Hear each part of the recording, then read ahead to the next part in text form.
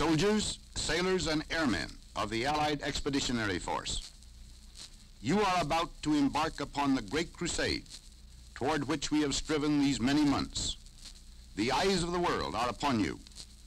The hopes and prayers of liberty-loving people everywhere march with you. In company with our brave allies and brothers in arms on other fronts, you will bring about the destruction of the German war machine, the elimination of Nazi tyranny over the oppressed peoples of Europe, and security for ourselves in a free world. Your task will not be an easy one. Your enemy is well trained, well equipped, and battle hardened. He will fight savagely. But this is the year 1944. Much has happened since the Nazi triumphs of 1940-41. The United Nations have inflicted upon the Germans great defeats in open battle, man to man. Our air offensive has seriously reduced their strength in the air and their capacity to wage war on the ground. Our home fronts have given us an overwhelming superiority in weapons and munitions of war and placed at our disposal great reserves of trained fighting men. The tide has turned. The free men of the world are marching together to victory. I have full confidence in your courage, devotion to duty, and skill in battle. We will accept nothing less than full victory. Good luck, and let us all beseech the blessing of Almighty God upon this great and noble undertaking.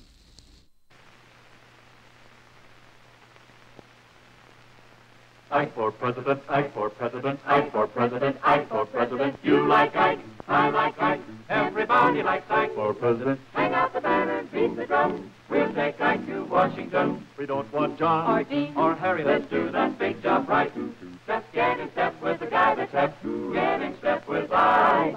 You like Ike, I like Ike, everybody likes Ike for president. Hang out the banner, beat the drum, we'll take Ike to Washington. We got to get where we are going, To travel day and night for president. Let Adlai go the other way, we'll all go with I. You like Ike, I like Ike, everybody likes Ike for president. Hang out the banner, beat the drum, we'll take Ike to Washington, we'll take Ike to Washington. Now is the time for all good Americans to come to the aid of their country. Vote for Eisenhower.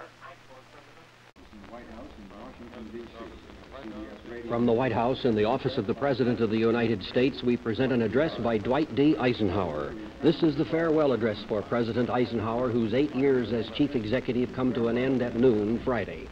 Mr. Eisenhower has chosen this time for his final speech. Ladies and gentlemen, the President of the United States. Now, this conjunction of an immense military establishment and a large arms industry is new in the American experience.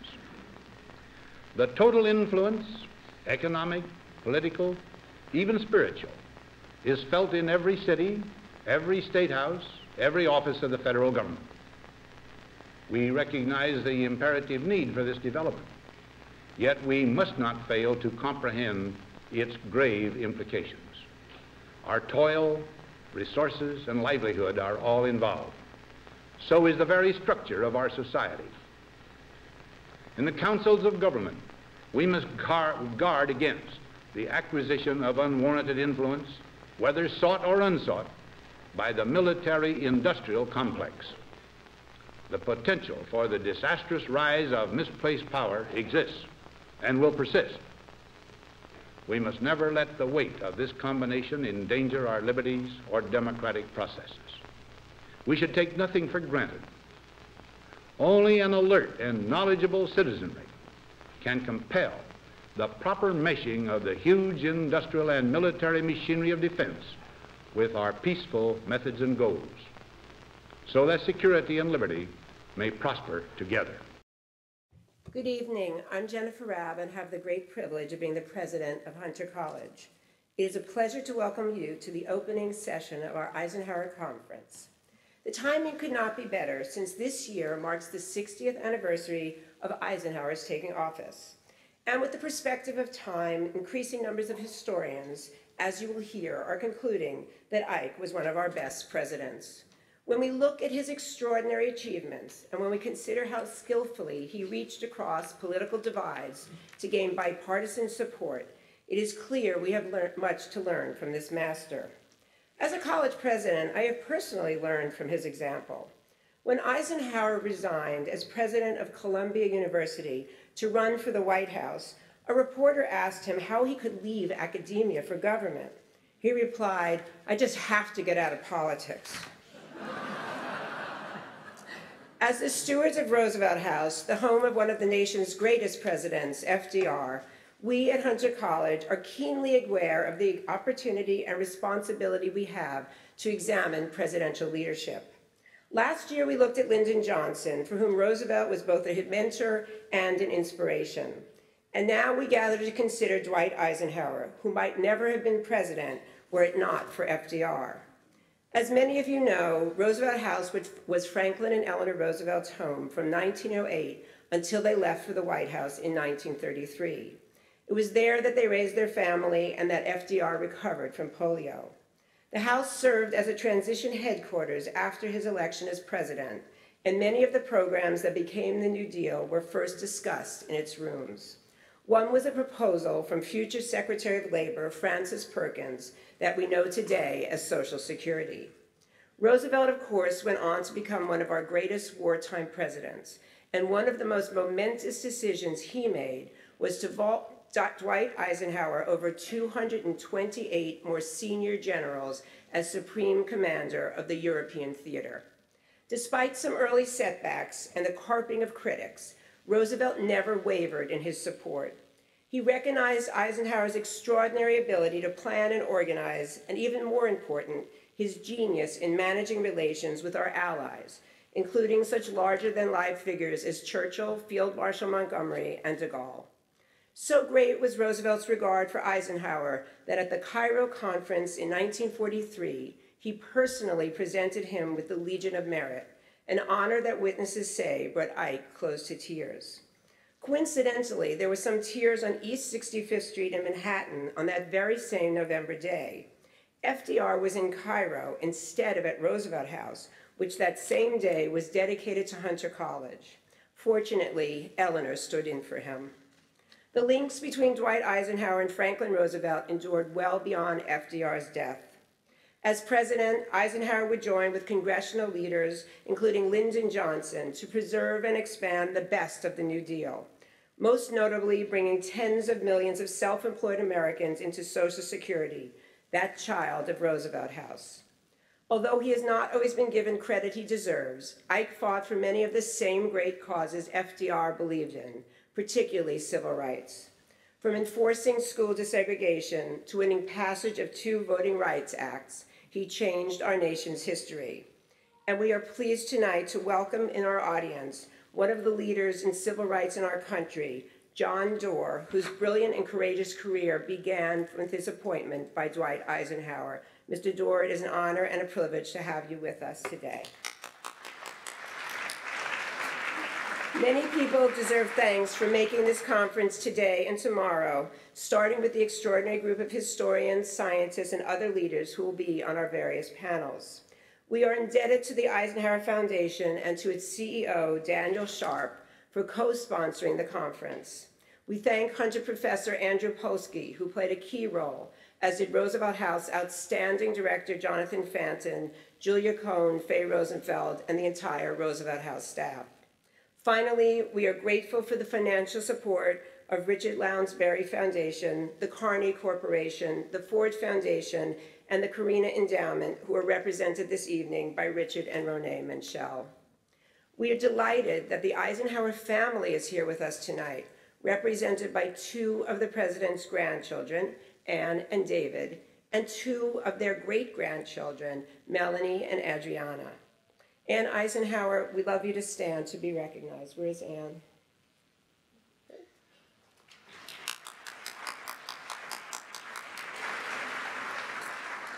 And it is now my pleasure to bring to the stage David Eisenhower, who will introduce our keynote speaker, Evan Thomas.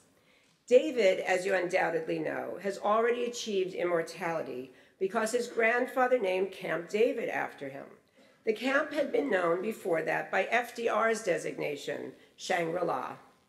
One footnote on the name is that early in 1969, when President Nixon made his first trip there, along with Julie, his younger daughter, and David's wife of just a few weeks, they were greeted by a sign that said not Camp David, but Camp 3. President Nixon was not at all pleased, and within one hour, Julie Nixon Eisenhower recalls, my father got that sign back up. It's been there ever since. David's lifetime of achievement as an educator, an author, and a historian has only added to the luster of the Eisenhower name. He is the director of the Institute for Public Service at the University of Pennsylvania School of Communication and was a Pulitzer Prize finalist for his 1986 work, Eisenhower at War. Most recently, David and Julie collaborated on a book about Ike's life after he left the White House, called appropriately, Going Home to Glory. It is a pleasure and honor to have him with us tonight. Please join me in welcoming David Eisenhower.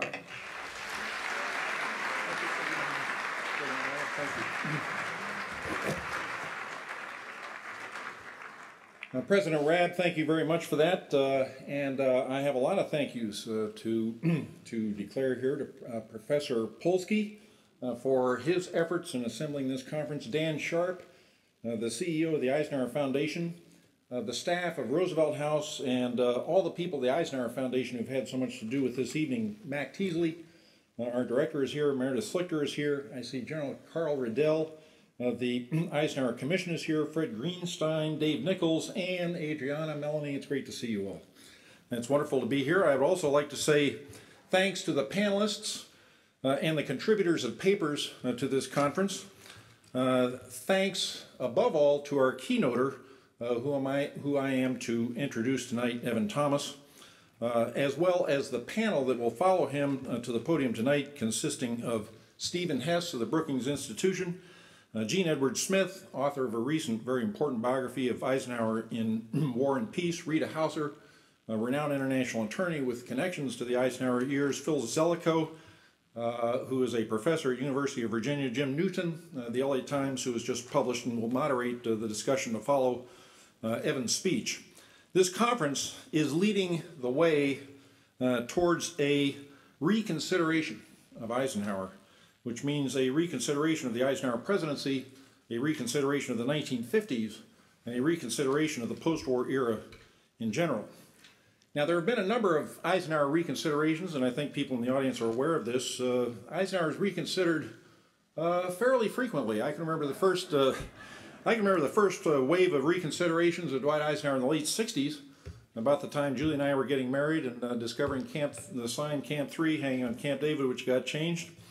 Uh, the 1970s, uh, uh, as well as in, in, into the early 1980s, and again beginning about five years ago, it would seem that these reconsiderations of Dwight Eisenhower bear some correlation with troubled times. And I suppose that there are uh, a number of explanations for it. First, the peace and prosperity of the Eisenhower years uh, are alluring. And I think that uh, historians are drawn to that.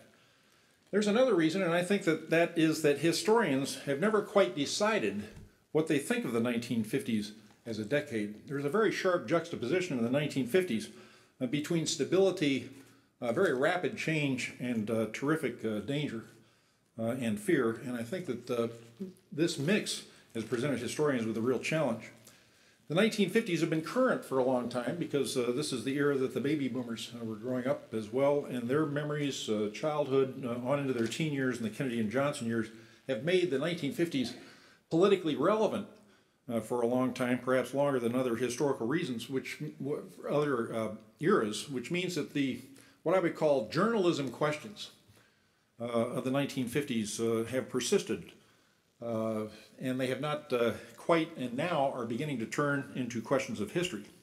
Journalists, for instance, uh, like to uh, debate who liked who and who got along in various administrations and how the personalities of these uh, governments interacted. Uh, who gets credit for building a space capability that was discussed this afternoon in the science panel. Did Eisenhower or did he not stand up to McCarthy adequately in the early 1950s?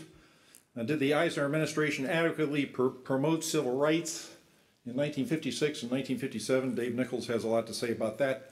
Could we have gotten in 1957 uh, on the first try, the bill that we got in 1964 on the fourth try? Was the anti-communism of the times useful? Was it simplistic? Did it, did it delay or accelerate the diffusion of power that uh, occurred about 10 years later?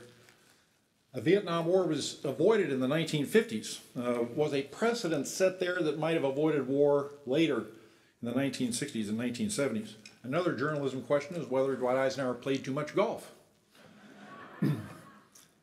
I don't know if he played too much golf, but he played a lot of golf. And I think that uh, a lot of our panelists uh, tonight, uh, those who knew Dwight Eisenhower, would all have golf stories. And uh, in the book that uh, Jennifer Raab uh, referred to, Going Home to Glory, I tell one of my favorites, which is Eisenhower's use of golf, because he was a very purposeful fellow to impart lessons of learning.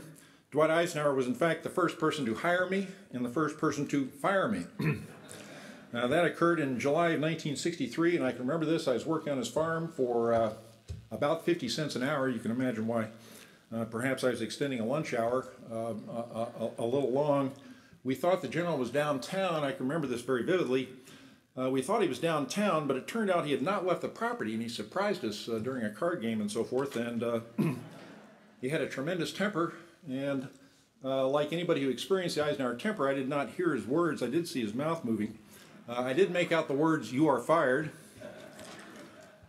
So happens that we had a golf game that afternoon, about 4 o'clock, and uh, uh, he and I were going to go out together, and I wasn't sure whether he was going to uh, uh, turn up. I went home, waited. About quarter four, the limousine rolled up. I got into the car with him. We rode in silence to Gettysburg Country Club. We played the first hole in silence, the second hole in silence, the third hole in silence. Finally, as we teed off on the fourth, he says, uh, David, uh, I allow my associates one mistake a year, and you've had yours. And by the fifth hole, I had been rehired, uh, proving that to err is human and to forgive divine. I don't even remember what we shot that day, but I certainly learned life's lessons. He played a lot of golf. But these are journalism questions, and they're now emerging historical questions uh, that this conference is dealing with. This conference is dealing with the emergence of the United States as a preeminent post war power. This conference is dealing with the scientific revolution that accompanied the war and the post-war, questions of technology and their bearing on public policy in the 1950s and 1960s. Uh, this conference is dealing with questions of democratic politics and the stresses on those politics in depression and in war.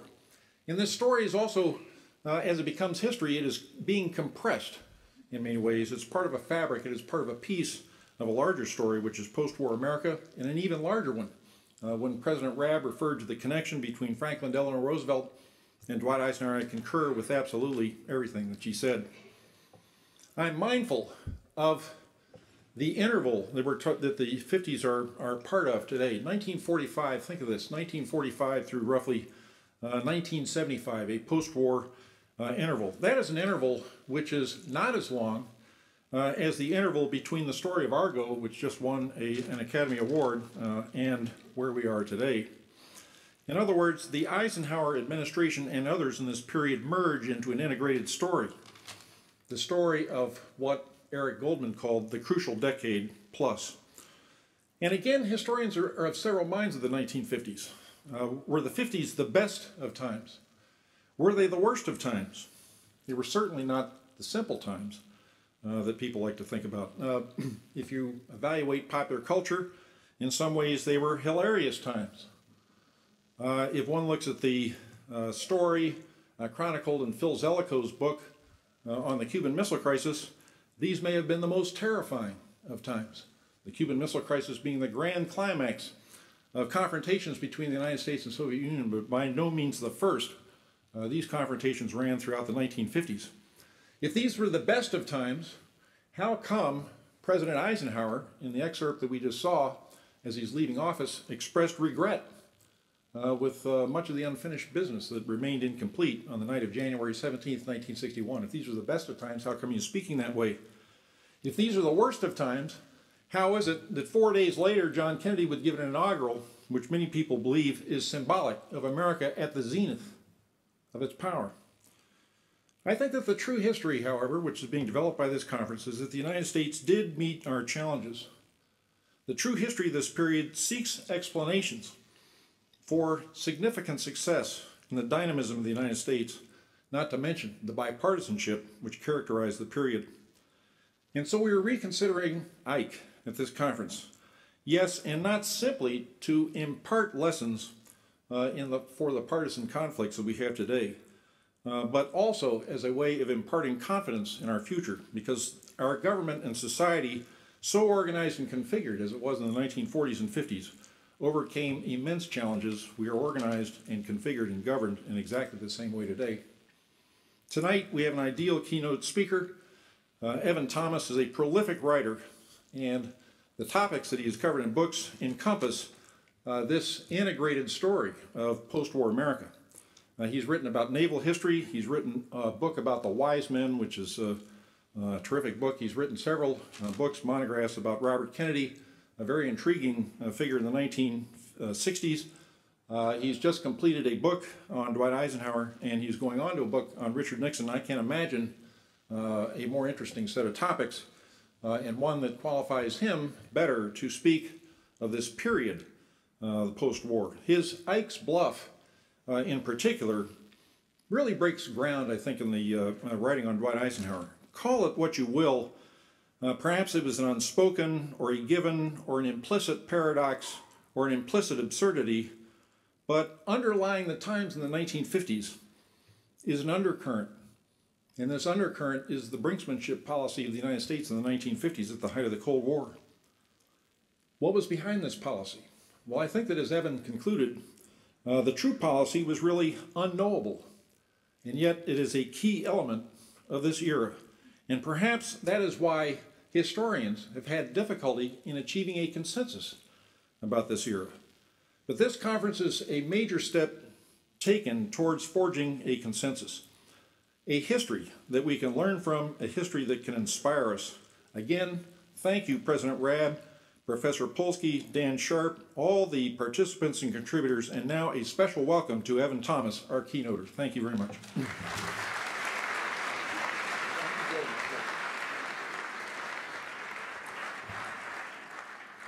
Uh, it's wonderful to be here. Uh, I spent a lot of time reading the letters of Dwight Eisenhower, and one thing that really comes through is how much he expected of his grandson David and how much he loved him.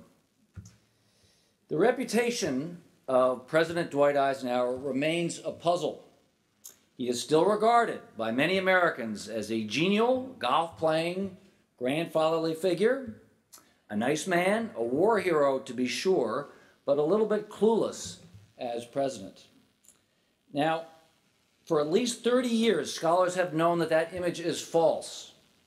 Ever since the Ann Whitman file was made public at the Eisenhower Library at Abilene, and Fred Greenstein, who's here today, wrote about the hidden hand presidency, we have known better, or should have known better. Still, the image persists. A lot of well informed people still think President Eisenhower was mostly a golfer. Now, he did play more than 800 times as president. That's a lot of golf.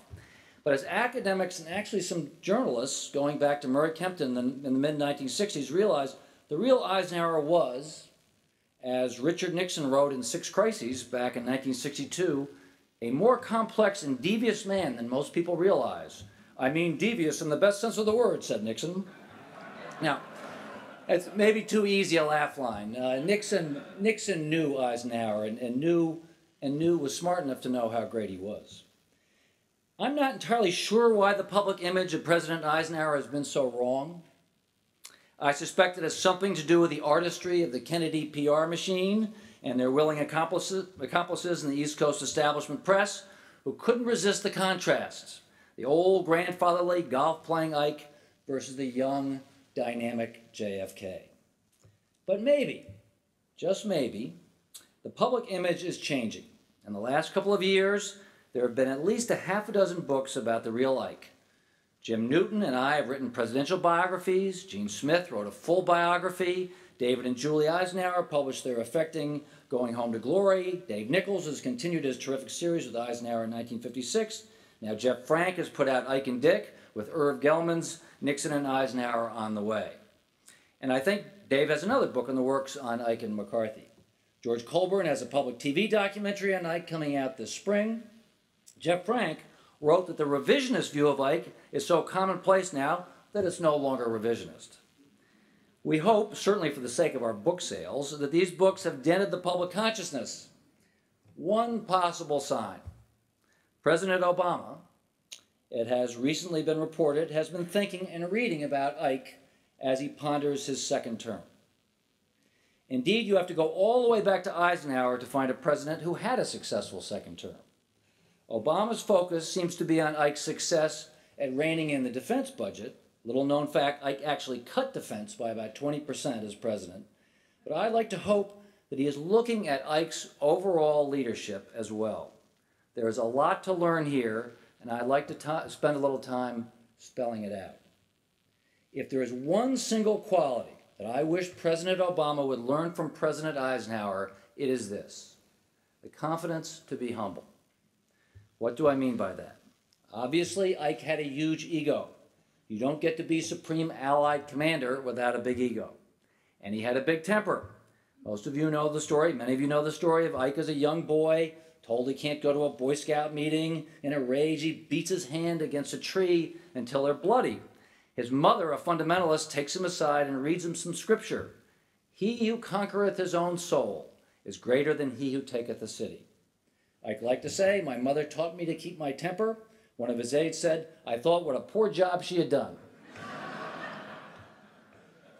but I did control his temper in public and when it counted with his adversaries. And more important, he controlled his ego. He had a highly developed sense of responsibility. You've all seen the iconic photo of Ike meeting with the 101st Airborne Troops on the eve of D Day Ike is in his regular uniform, and the paratroopers are all geared up in their gear, their faces blackened, ready to jump that night into France. Ike went to see these men because he knew that many of them would not be coming back. They had predicted 70% casualties. But Eisenhower wanted to look these men in the eye before sending them to their fates. In his jacket pocket, he had written a letter.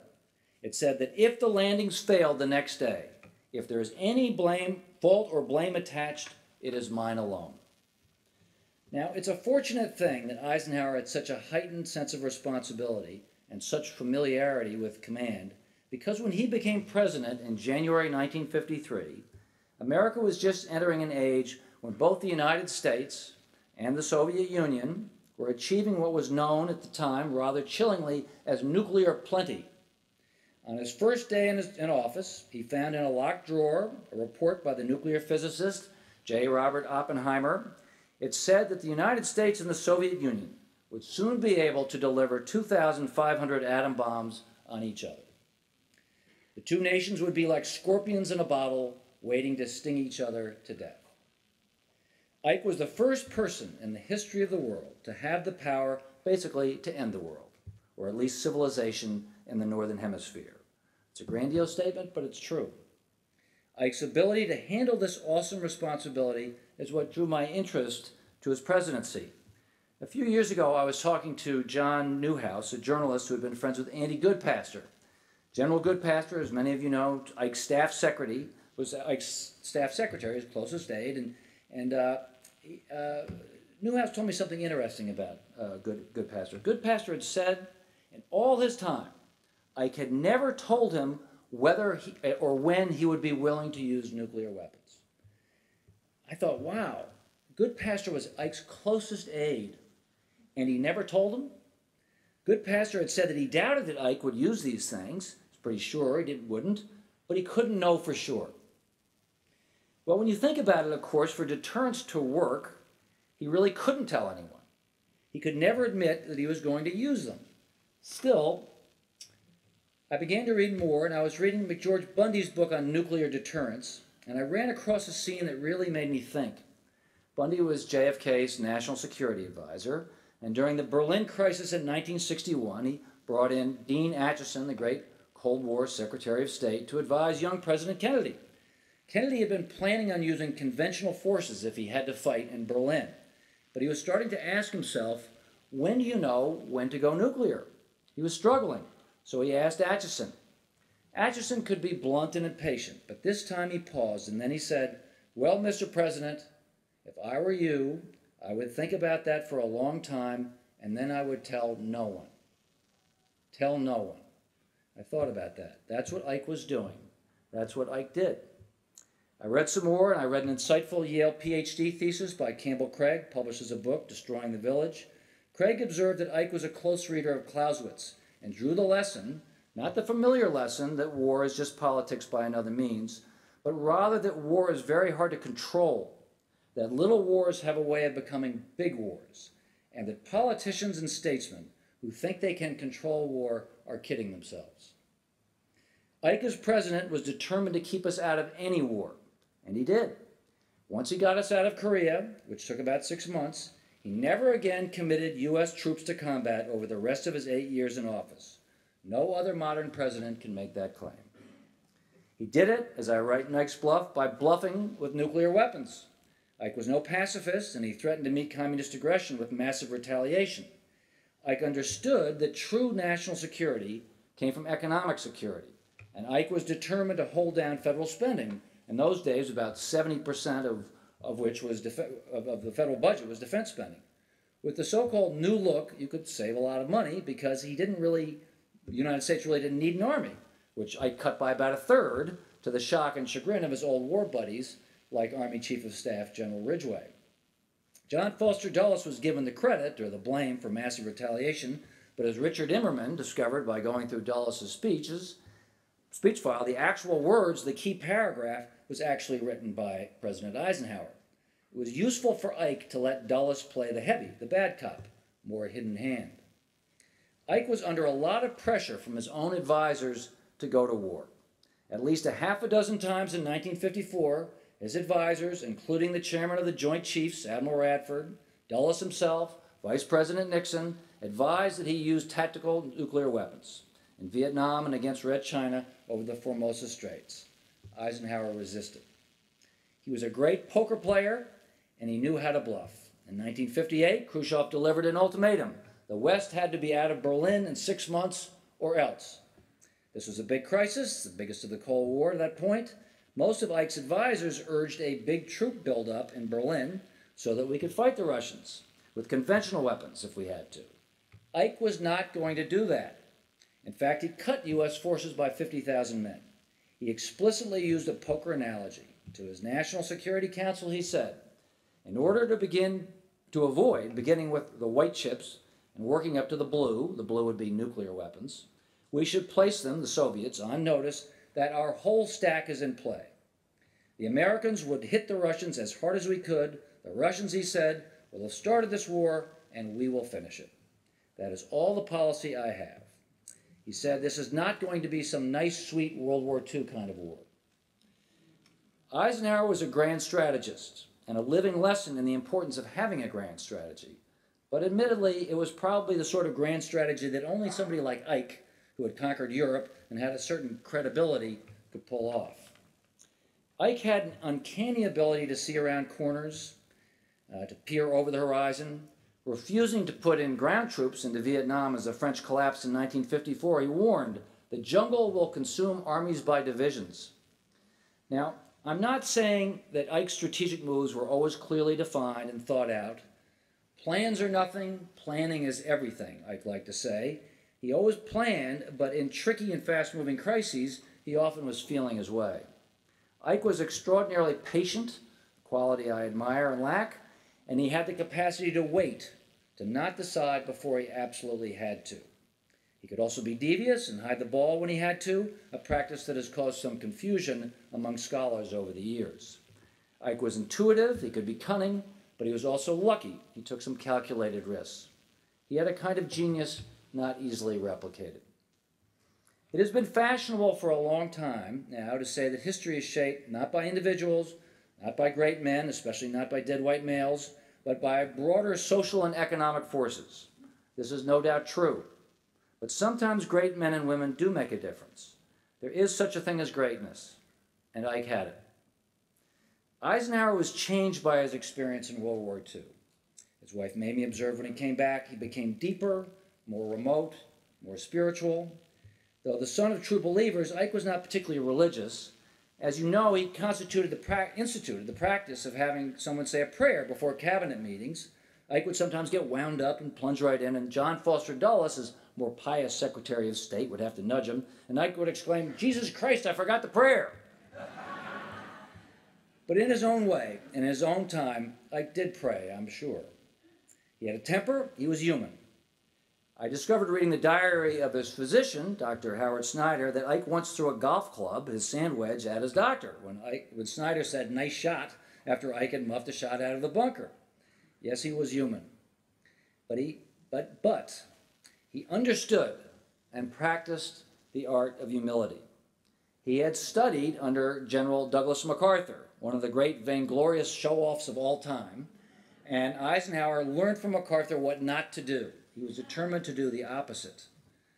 Eisenhower once said that he got ahead by concealing his ambition and his intelligence.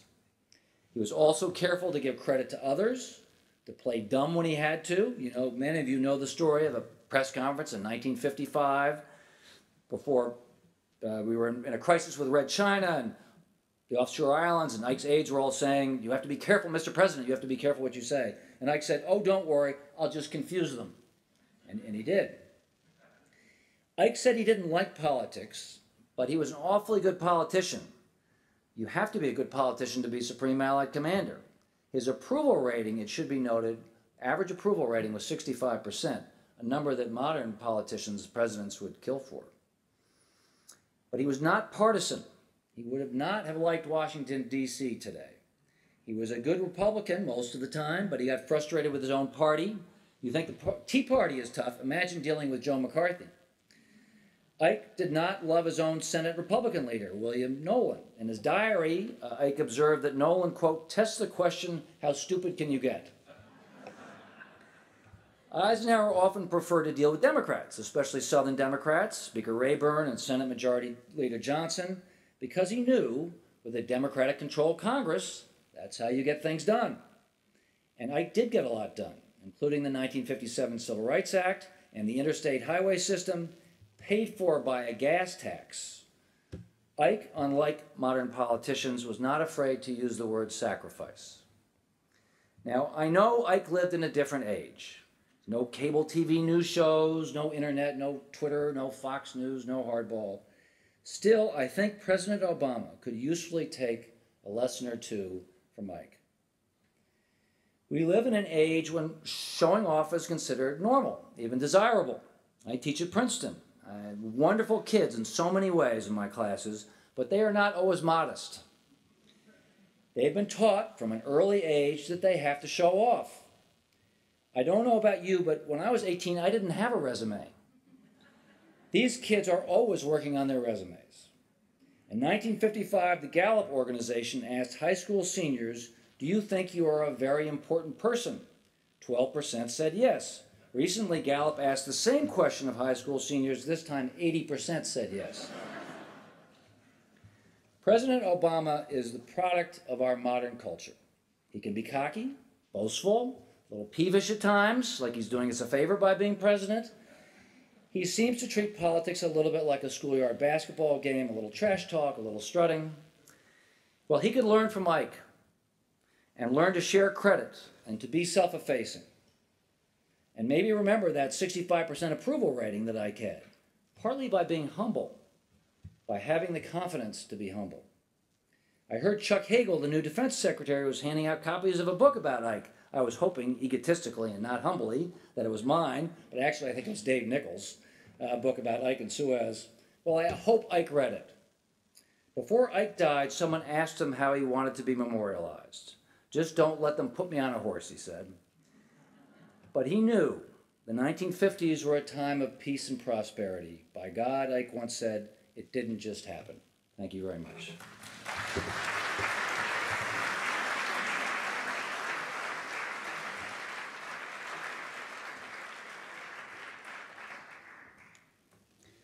Thank you so much, Evan. Uh, I'm Andrew Polsky, professor of political science here at Hunter College. I have the great pleasure of introducing our next speakers who will join us for a roundtable conversation on Eisenhower's presidential legacy. At the start of our program this evening, we showed what is probably the most famous part of Ike's farewell speech, his remarks about the military industrial complex. To set the stage for the roundtable, we'd like you to see another clip from that speech, one that also resonates today.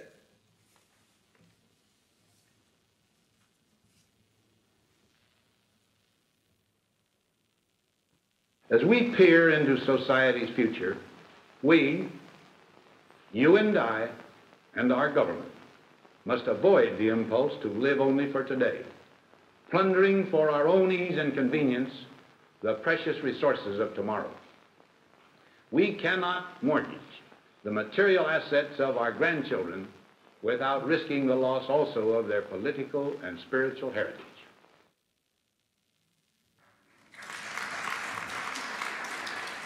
And now I'd like to welcome to the stage our distinguished guests.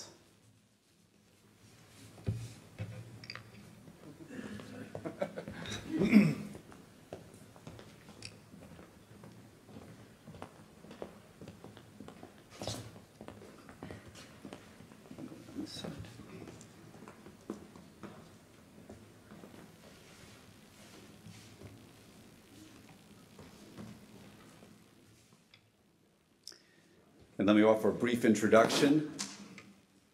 Jim Newton, our moderator, is editor at large of the Los Angeles Times, where he has worked for 20 years. His biography of Chief Justice Earl Warren appeared in 2006. Jim is the author of the outstanding 2011 book, Eisenhower, The White House Years. Jean Edward Smith, a senior scholar at Columbia University, is an accomplished biographer. His book, FDR, won the 2008 Francis Parkman Prize, while his biography of U.S. Grant was a Pulitzer Prize finalist in 2002. He has written the highly regarded Eisenhower in War and Peace. Stephen Hess served on the White House staff during both the Eisenhower and Nixon presidencies and advised Presidents Ford and Carter. He is Senior Fellow Emeritus in Governance Studies at the Brookings Institution. He has written extensively on political campaigns and is the author of Organizing the Presidency, which has been published in multiple editions. Rita Hauser, president of the Hauser Foundation, also served on the President's Foreign Intelligence Advisory Board and the President's Intelligence Advisory Board. Rita graduated from Hunter College High School and Hunter College, and then from Harvard University. She has been a great supporter of Hunter as well as of Harvard and New York University. And Philip Zelikow is Dean of the Graduate School of Arts and Sciences at the University of Virginia, where he is also the White Burkett Miller Professor of History. He was the Executive Director of the 9 11 Commission. A former Foreign Service officer, he served on the National Security Council and later was a deputy to Secretary of State Condoleezza Rice. Thank you all for so, so much for being with us tonight, and now I'll turn it over to you, Jim. Thank you, Andrew. Uh, well, listen, thank you all for being here. Uh, it's a treat uh, for me to be among uh, so many uh, people I esteem uh, so greatly. I'm especially grateful to be here tonight, and I've just heard the talk that you all just heard from my friend and fellow biographer, Evan Thomas. Uh, we're here tonight, obviously, to talk about Eisenhower, uh, but particularly uh, with an emphasis uh, and an eye toward asking what his legacy uh, might mean for us today in our politics. And so, in order to really to get us going and to reflect a little bit on what Evan said, I wondered if I could start with you, Jean. And since you're really one, uh, the person here who spent the most time thinking about his war career, I wonder if you could talk a little bit about his his experience in the military and how that helped shape the president that he became. Eisenhower commanded the largest coalition force in the history of the world, and he saw war firsthand, and he was determined uh, that this was something you really didn't want to do. Uh, bear in mind that after Eisenhower made peace in Korea, and let me point out that he made peace in Korea over the objections of most of his own party. Secretary Dulles was against it at the time. After Eisenhower made peace in Korea in 1953, for the remaining eight years of his term, not one American serviceman was killed in combat.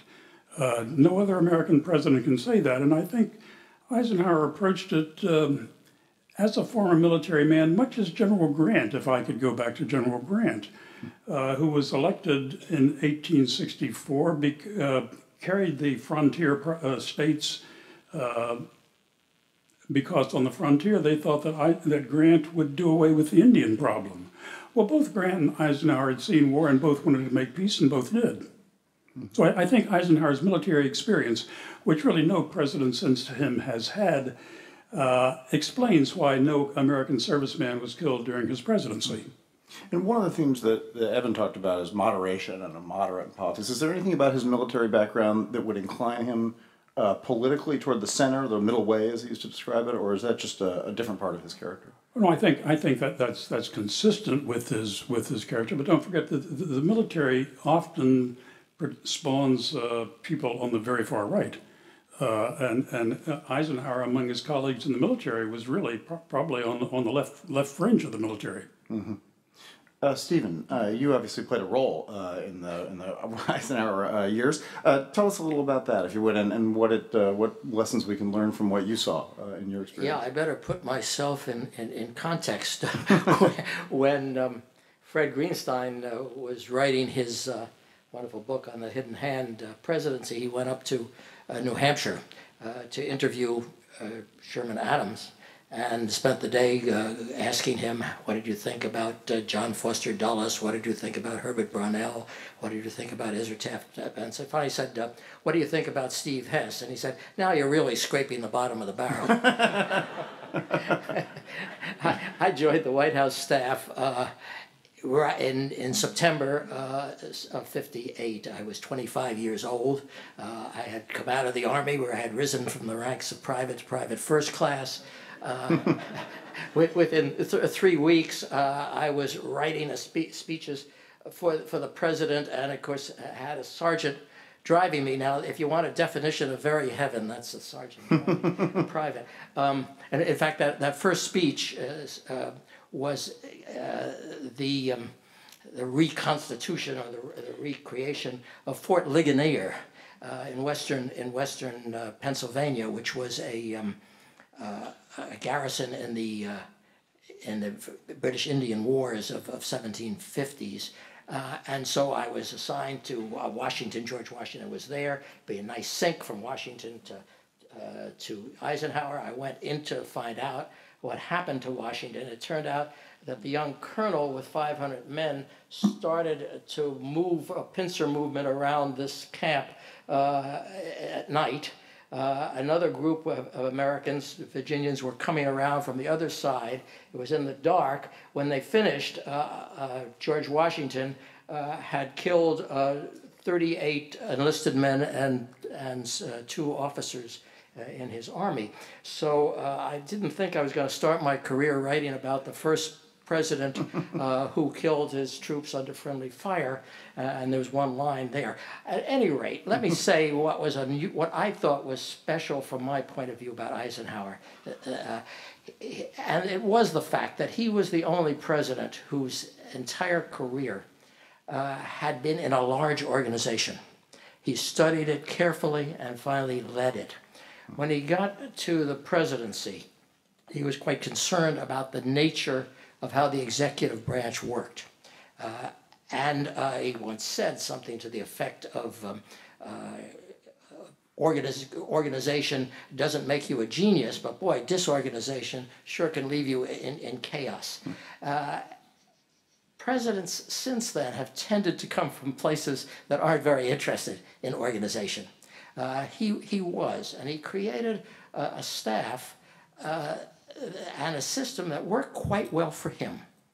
Uh, the question I have is would it work today? But nevertheless, it wasn't a cabinet government, but it was a government that reached out to take advantage of the talents of his cabinet, carefully supervised or overseen by the White House staff, which was very, very small. Uh, I should say, in the eight years that he was president, there were only 88 people who had executive positions on the White House staff.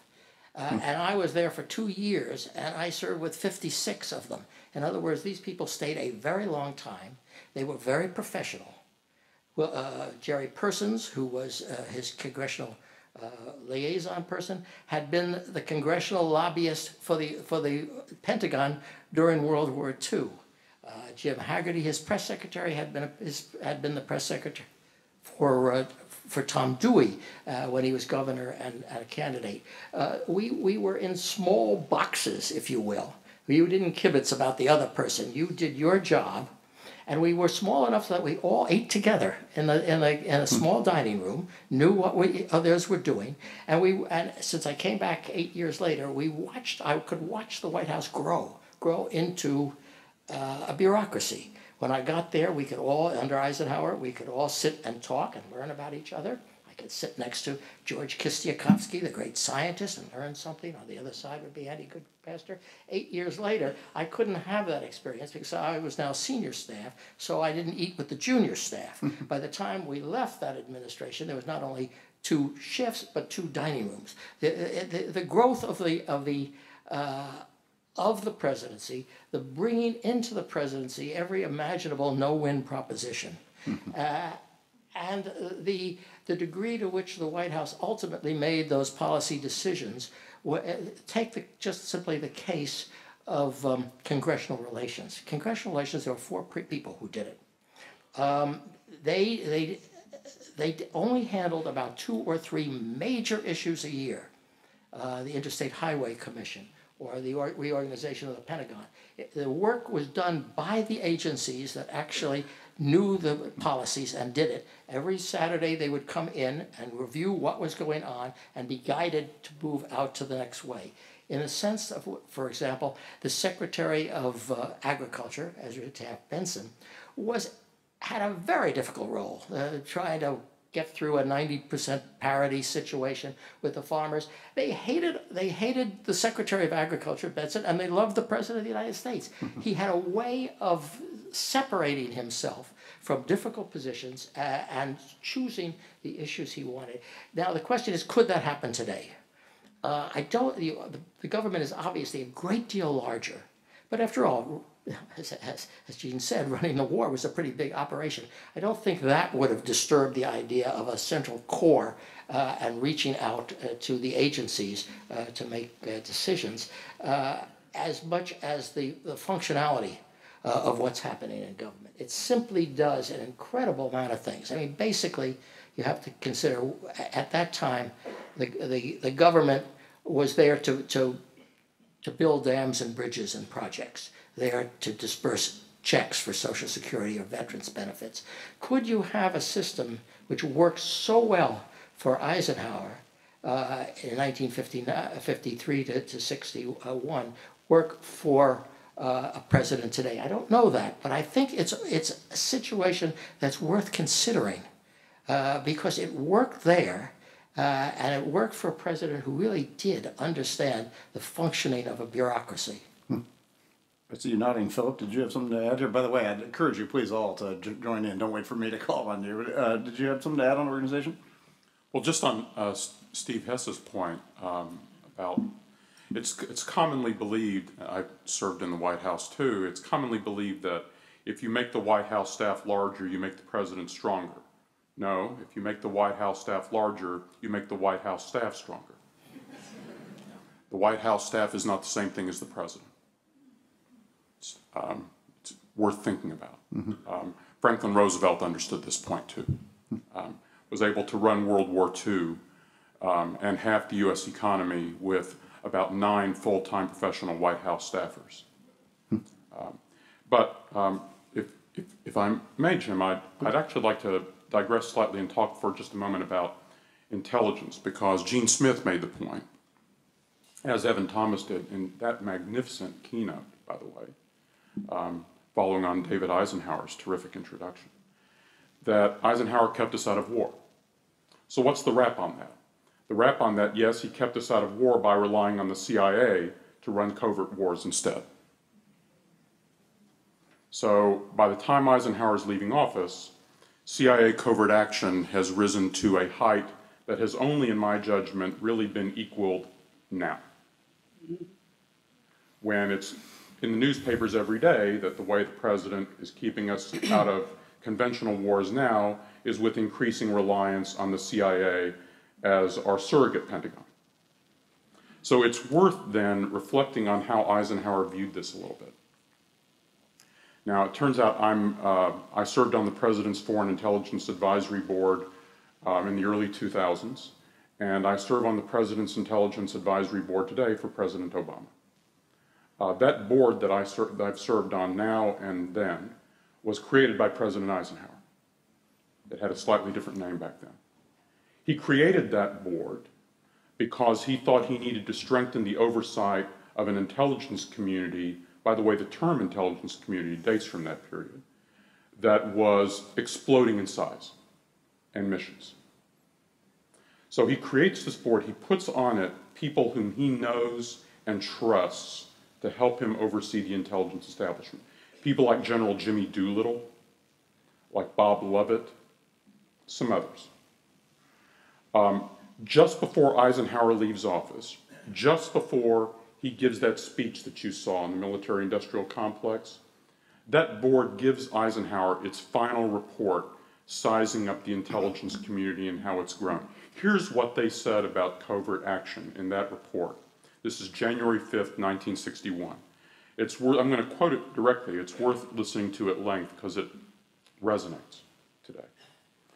We continue to have concern, the board wrote, as to whether the clandestine services of CIA are sufficiently well organized and managed to carry out covert action programs. Just remember, this is three months before the Bay of Pigs will launch. Next, they went on to say, further, we have been unable to conclude that, on balance, all of the covert action programs undertaken by CIA up to this time have been worth the risk or the great expense of manpower, money, and other resources involved. And they go on to say, in addition, we believe that CIA's concentration on political, psychological, and related covert action activities have tended to detract substantially from the execution of its primary intelligence gathering mission. We suggest accordingly that there should be a total reassessment of our covert action policies and programs. That's Eisenhower's trusted intimates, January 5th, 1961. They present this report both in writing and then orally to Eisenhower in a meeting with him. Andy Goodpaster took the notes. Eisenhower's response to this report, he, quote, not only agreed with the observations of the group, he agreed so strongly he might have written it himself, close quote. And yet, same Dwight Eisenhower, who obviously did authorize the overthrow of Arbenz in Guatemala, uh, Mossadegh in Iran, um, one thing you didn't cite there was the geopolitical consequences for all of that. Uh, are we still living with uh, a residue, a negative residue of the Eisenhower era and its reliance on covert action and those uh, episodes on others? Um, he, uh, those were decisions he made in 53, 54. These are uh, um, when all of these things still seem very new to both the country and to our institutions. Now you're listening to people who have been through a lot of things since then, and they've watched the way it's grown. They've had some things happen that they're very uneasy about. There have been some things in, Indo- in, in Indonesia, mm-hmm. 57, 58. Um, this is a more sober and seasoned group that is catching their breath and reassessing. Frankly, we as a country today are coming out of a period of more than 10 years of extraordinary reliance on our intelligence agencies to protect us. We may look back now on things that our government chose to do in the first of those years in a more seasoned and sober way than we might have looked at them at the time those decisions were initially made. And we thought, Eisenhower thought in 53 54, the country was in genuine danger of entering World War III. At the end of 1950 and early 1951, the country went into a national mobilization of a kind that had not been seen since the Great Mobilization of 40 to 42, because the country was actually literally getting ready for World War III. That's one context. In 1961, they're catching their breath and reflecting. In a way, we're now at another one of those inflection points where we too can reflect, helped by these examples. I want to come to you in just a second, Rita, uh, to ask about bipartisanship. But, but first, I thought his decision to allow Francis Gary Powers to take that U 2 flight on the eve of the Paris uh, summit which really destroyed the Paris summit and which set back uh, the attempt to end the Cold War uh, for another for another decade, really. So, so I, I think the, writers of the report uh, were surely aware, of, of, of most recently, of, of the U-2 debacle. Yeah, although I, I don't think Eisenhower regretted that overhead reconnaissance program, uh, though satellites were very soon going to make the U-2 direct missions uh, less necessary than they had been to ease the desperate fears about the supposed missile gap. But I think your point's dead on in the sense that timing and the way you make these decisions about these things have seems like an innocuous decision and it blew up what had been a key piece of his foreign policy in a way that he could not have expected. Oh, that's right. He, he derived great benefits from the U-2 program. It's simply the, the authorization of that last flight uh, on the eve of the Paris summit that, that he, he surely regretted. Um, while we're on that, let, let me say that Eisenhower did make mistakes. I mean, we are here this evening celebrating Eisenhower, but, but he did make mistakes. Uh, not very many. Uh, but um, uh, but uh, surely he regretted uh, the 1952 campaign when he was campaigning in Wisconsin and, and dropped the reference to General Marshall from his speech uh, in which he was going to criticize McCarthy and took that out of his speech. Surely he regretted that. Uh, and, and, as, and as I say, if I had to pick another one, it would have been the, the U-2 flight. Please read. It falls to me to discuss Eisenhower in the bipartisan context, Eisenhower the Republican. I was, became a young Republican because of Eisenhower. And the kind of campaign that he brought to bear with the people around him who reflected the Republican establishment, Herb Brownell, uh, Dewey, and others of that sort, was the triumph over the small town, uh, narrow constriction that was behind Taft. Taft was decisively defeated by Eisenhower, and Eisenhower led a period of expansive business, prosperity, uh, a kind of outreach to all sorts of people. His campaign reflected it. I want to talk a little bit about the campaign because we've just been through a campaign. That jingle that we all saw, everybody smiled. You feel happy.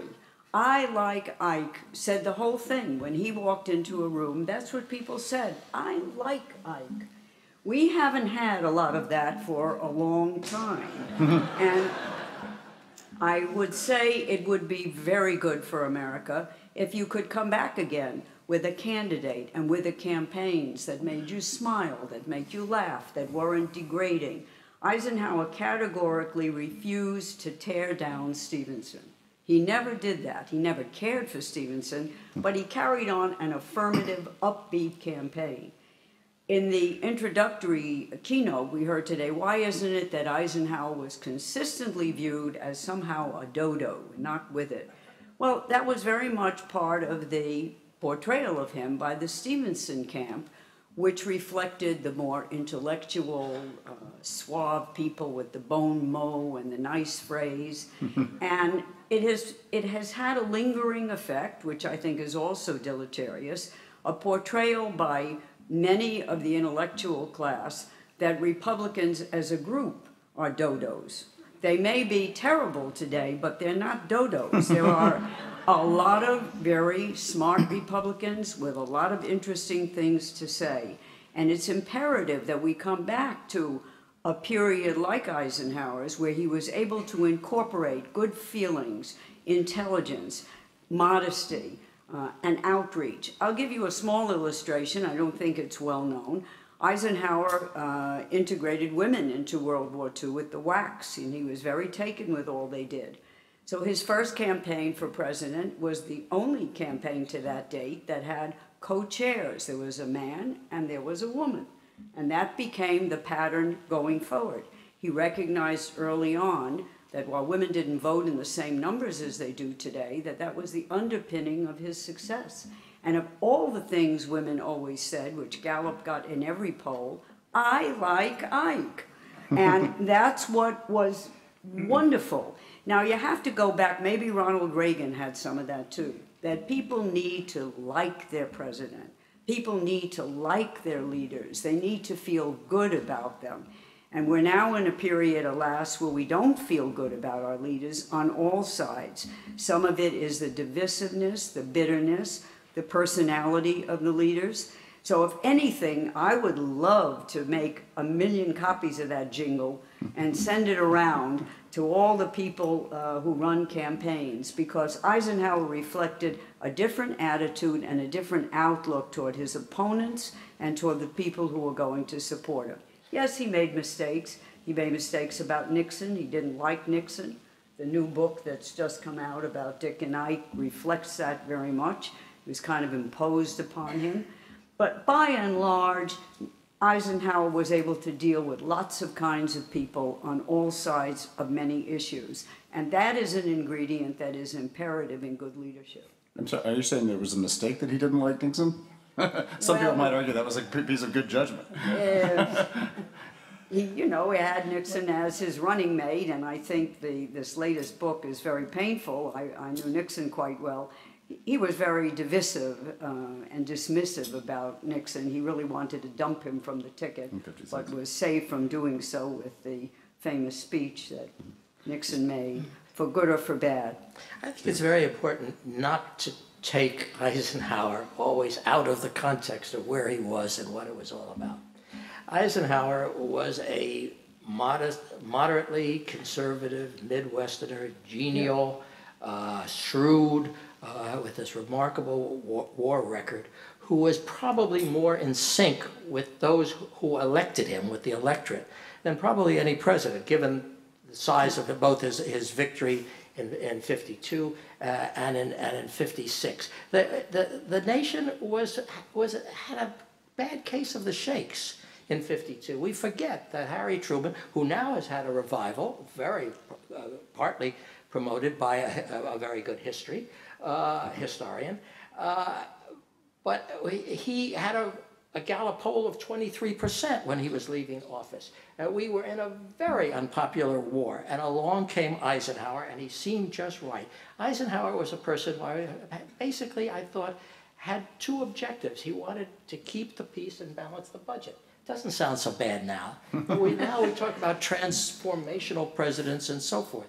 Eisenhower, uh, day by day, uh, managed for eight years in a stewardship, which is what we elect the president. It's all in the Constitution. It's what he's told to do. He kept the peace, uh, and he and, and I think uh, we can go well beyond uh, what he was thinking. Now, I do think in the uh, in the uh, in the farewell address, which was the only time I remember Eisenhower cast, casting into the future for what, for what he thought. And it was not just the military industrial part. The, the important part of that speech, I thought, was, was the nature of balance. How it's a society that has to be in, in balance. I should say, I didn't work on that speech. It was written by Malcolm Moos and an assistant naval aide named Ralph Williams, who actually wrote that phrase, industrial military complex. My job was actually to write the, the, the State of the Union message that went with it. State of the Union message was not delivered uh, by the president. It was dropped off to the Congress. It's an odd history of it. In the spring, I had been asked by, the, by my bosses in the White House to write the first draft of the Republican platform because they wanted the, the, process, which would nominate Nixon, to start with something appreciating Eisenhower. The, the platform was totally changed, including uh, a very important part of the uh, uh, Nixon going to, um, to New York to meet with, with Rockefeller at the Treaty of Fifth Avenue. They changed the platform. Uh, and when I was then asked to write, the, uh, as the principal writer of the final State of the Union message, uh, it was going to be different than previous messages. Previous messages would have the president saying, this is what I want to do next year. In this message, he said, uh, instead of that, I'm going to tell you what I did in these eight years. And so I did something very simple. I simply went back to my first draft of the Republican platform and, and rewrote it for that purpose.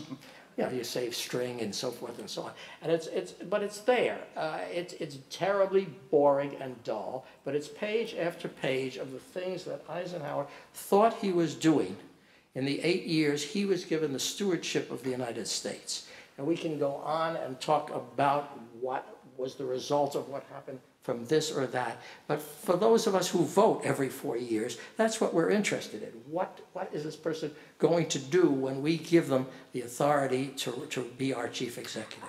I'd, I'd like to say we do that, but deep down, which is why a presidential race is so different, you like to feel what you feel about the person. And that persists to this day and is always the quality that I look for and can almost, I've never missed, tell you who's going to win a presidential election without all the rest of everything that you analyze. And as I said earlier, there are some of our presidents in recent times that people feel good about. And it's important to understand that because when a leader makes you feel good, there is an optimism, there is a sense of direction and purpose, which enables a president to do something that he can't do without it. Hmm. And we haven't had very many presidents, perhaps Kennedy, whose life was cut short. Certainly, people didn't like LBJ. They didn't like Nixon. I don't know, a lot of people don't like Obama. You know, some do, some don't. There's a deep negative feeling that I think is very important to overcome. I'm not sure exactly how. I think it depends very much on the nature of our nominations, which have become very much more difficult, and the regionalization of our parties. I am not an optimist about the future of the Republican Party being a very moderate Rockefeller type Republican. It's now grounded in the deep South, as it once was in the Midwest, although it has some of the Midwest in it. And a national party grounded in the deep South is not a healthy party. And that is, I don't mean to belittle the South, but that's where it's grounded. and you need to have a party that reflects more than that. I don't know, Eisenhower reflected all of America, which is why I think he was such he a didn't reflect all of America. Yes, he what did. in blazes are you talking about? As he president- didn't reflect the blacks. He, No, you know, okay. The White House staff of 88 True. people had one black True. and three women. You know, and Eisenhower was was was True. a- a- a- an integrationist, but he uh, he wasn't a segregationist. No. But heavens, if you were, were Steve, there I was thinking of the moral tone that we expected after Brown, and we didn't get that from him. Now you can argue, as I think Dave Nichols does very well, that he moved as far as he could Could. for that electorate. But the idea that somehow he represented all of the people equally, he didn't. The three women were, the, were his personal secretary, the social secretary, and one assistant Right. press secretary. But you have to look at it in the context of the time. We didn't have a Civil right. Rights Act. We didn't have, I was looking at it in the context of the time, regionally speaking. He reflected, you know, all of America. Of course, blacks did not feel that women were just beginning to come of age. So you have to see it in its own context. But today, it's very difficult to say that a particular candidate really represents North, South, West, Midwest. That's Let the me- point I'm let trying me to make. stop for a moment because I'd like to come back to civil rights uh, and talk a little bit more in a minute. But I thought, uh, Philip, you had something to add here. Well, I had wanted to switch gears for a moment from Eisenhower the statesman to Eisenhower the super staffer. now, I, I, I draw attention to this because mainly I, and when I've been in and out of government, I've just been a staffer. I've been uh, at best a second banana, sometimes third banana, uh, sometimes to my opponents in government, the banana peel. Uh, Eisenhower did not rise to great prominence in the U.S. Army because of his brilliance as a combat commander. I think it's fair to say, and Jean would know better, and others, you would too, Jim, but Eisenhower rose to his stature because he was the best damn staffer anyone could find in the U.S. Army. He had been invaluable to MacArthur in a quiet way, and then he became invaluable to George Marshall during a really critical period. Uh, but here's why that's important. As president, and when you get into the details of this, and everyone on this panel has seen this, knows this, Eisenhower could do it all. Eisenhower could edit a staff paper, line in and line out. Many of them staff papers that were coming into him in the more than 300 National Security Council meetings he chaired personally after they had come up Policy Hill, as the phrase went. He could, he got the, the micro detail, the nuts and bolts stuff, but he could switch from staffer to statesman. In other words, that zoom lens where I see the macro picture But because I'm a staffer and I know how to do the nuts and bolts and you don't bamboozle me with the papers, I can do the line in, line outs on the stuff with all the numbers in it coming from the chiefs. That ability to then zoom down to that level and relate operational detail, which he had mastered, to the level of the statesman, that is a nearly unique quality in modern presidents. And, and if I could, could follow on with, with what uh, Jennifer said in her opening remarks, that um, it was FDR who chose Eisenhower to command the invasion of Europe, uh, really bypassing General Marshall. Um, on the way back, on the way to the Tehran conference in 43, FDR stopped off in North Africa, spent two days sort of taking Eisenhower's measure. Uh, at the Tehran conference, Stalin pressed FDR to name a commander for it, and Roosevelt hedged. On the way back from Tehran, he met with Marshall, asked General Marshall if he wanted the job. Uh, Marshall, with characteristic uh, discipline, refused to express an opinion. And at that point, Roosevelt said, then it will be Eisenhower. Eisenhower was Roosevelt's first choice after he had measured him exactly the way you suggest. Um, and Eisenhower at that point had three amphibious landings under his belt, which George Marshall didn't. We all are familiar with the story of Roosevelt saying, I couldn't sleep if George Marshall was out of Washington. That was spin. That was spin to save Marshall's face afterwards. Roosevelt, who was a very able judge of people, saw exactly what you saw and uh, mentioned in, in Eisenhower. What Eisenhower had, which was quite remarkable because, of course, he spent all his time telling us he didn't have it, was he was a masterful politician. Right. Masterful politician. Right. I, uh, my, my continuation with Eisenhower continued after uh, he left office uh, because there was no great law that gave presidents all of the um, uh, all of the things that they now have, housing and staff and so forth. Uh, and so the Republican National Committee came to me and said, if we're to keep Eisenhower alive uh, politically, somebody has to answer his mail. Would you do it? And we worked out a system and they paid me a certain amount of money for each letter. Piecework and so forth. I made a lot of money. and, uh, and I learned at that time what a brilliant politician he was. And of course, part of the brilliance was saying he wasn't a politician. And he knew when to move in, but when not to move in. Uh, and I think it's a strange way we talk about the skills, and I started the skills of, of being a staffer or the skills of, of being an organizer, the, skill, the ultimate skill that he had and he was the skill of a politician. And the strange thing about it, because I also worked with Nixon at the same time, Nixon didn't have it. Nixon was the person who was supposed to be the politician there, but he, he did not have that fine touch that, uh, that Eisenhower had, and people recognized that. Well, that's the very point that I was making, and it is not to be forgotten that Truman asked Eisenhower to run for president, presumably on the Democratic ticket, Twice. which Mhm. twice, which Eisenhower declined. For some saw himself as a Republican and identified more with, I think, the the business community at large. So it gets to the ineffable something that a real leader has. And you can call it a politician, I'll call it a politician and a leader, and you know it when you see it. Oh, certainly a diplomat too. I mean, we keep forgetting where uh, Jean can talk about this as well as, as, as Jim. Uh, of course, what was he? Uh, what was he in Europe? He he, he was Great he was the, the, the chief diplomat among all of those competing tribes that were our allies.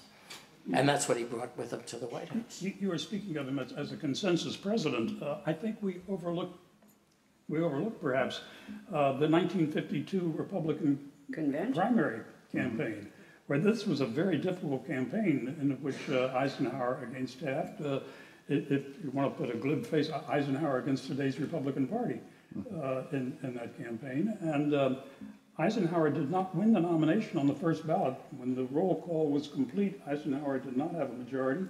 Uh, Minnesota switched from Stassen to, uh, to Eisenhower and put him over the top. And uh, this was this was a very close campaign. But having defeated the Taft wing of the party, even though they were not only Republican, they, they sort of were, were uh, played a marginal role from that point on. It was the Eisenhower Republicans uh, the Rockefeller Republicans and the Democrats, Yeah. uh, And- which, which, which formed the, Eis- the basis. of The, the only difference there was that his chief opponents in the Senate were, were uh, a dozen Republicans. There was the Bricker Amendment that tried to Mhm. limit Exactly. treaty-making powers. Uh, They opposed his major appointments uh, uh, for diplomatic appointments Yes. to, to Moscow and so forth. He had a lot of trouble with the Republicans Yes. wi- within his own party. Absolutely. Eisenhower created the modern national security Republican Party to a significant degree. Just, rem- just remember, in the 1930s, in the 1930s and the 1940s, the predominant thrust of the Republican Party had been to oppose American international commitments in Europe. There had been a, an enormous national debate in the beginning of the 1940s on these issues, and the Republican Party had very clearly identified itself with one side of that. Uh, now, uh, this was turning because of the identification of international commitments with anti-communism. The Republicans were running strong after 1950. The Korean War was, had been seen as a terrific shock coming on a series of shocks. The Cold War had come to Main Street by the end of 1950. But here's the moment, is uh, there, there are two paths for the Republican Party in 1952. There's the Bob Taft path, and Taft stood for what you could call the isolationist wing of the party, although Taft was very interested in activity in Asia. He was not very interested in activity in Europe. Um, and then uh, some would argue that one of the reasons Eisenhower chose to run was because it was going to be a Republican year. And it was basically, if you don't run, Bob Taft will be president. And what will happen to NATO, which Eisenhower helped create, was something that might have weighed on him. Historians can argue whether that's right or not, but I think that there's a, a plausible case to be made that that's a big factor. So he's running to keep the Republican Party from basically being the same party it had been for the previous 20 years. And with The party that I- Herbert Hoover wanted it to be. And by the way, if he had not run, I believe Bob Taft would have been elected hmm. president. And if Bob Taft had been elected president, his likely vice president would have been Douglas MacArthur. Bob Taft was going to die of a heart attack very shortly afterwards. Ca- cancer, And but- Douglas MacArthur would have been president of the United States. Well, there's a there's a horrifying little vision for you. Um, No, no, no, please, on, on, on Douglas MacArthur. Um, Eisenhower was in NATO in 52, and uh, Brownell and Dewey and Clay were having an awfully tough time to get him to come back and announce. And in the spring of 52, the Republican National Committee announced that Douglas MacArthur was going to give the keynote address at the Republican convention. And Clay, who had served in Manila with uh, MacArthur and Eisenhower, told Dewey, write to Ike and tell him that we're concerned that when MacArthur gives that keynote address, he's going to mesmerize the convention and they're going to nominate him by acclamation.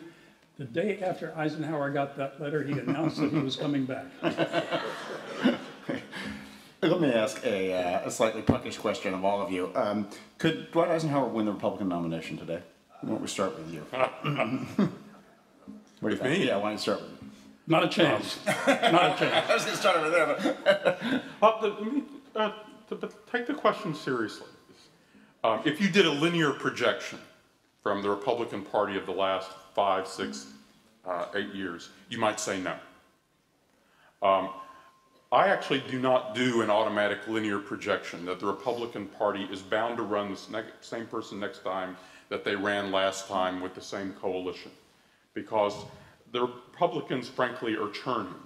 Eisenhower, you see, was actually a figure at a transition point in changing the Republican Party from what it had been to the Republican Party that in some ways is more familiar to us over a generation. Um, I actually believe we're coming up to another inflection point, um, partly for the Republican Party. And I think a lot of people in the party know that. So I don't just assume that they're just going to keep going down this same path. Rita? Well, it's very hard to say if you accept my thesis that personality and uh, strength of character is what dominates in the end in the presidentials. I think Eisenhower would have had a very good chance to win the nomination and with, and win the election even today. Very much so. Probably the pathetic aspect of the last election were the pygmies that ran for for the on the Demo, on the Republican ticket. I mean, there was nobody that you could We could stipulate that he could take out Newt Gingrich. So I, you know, I would come back to that. I think his personality, his experience, his his solidity, his modesty, I think those would have carried in in any event. And the question is whether we can produce people like that again in both parties. Would you agree that he would have an easier time in a general election than a Republican nomination? Not even sure. I think in e- those qualities would have stood him in good stead, even in the Republican primaries that were held.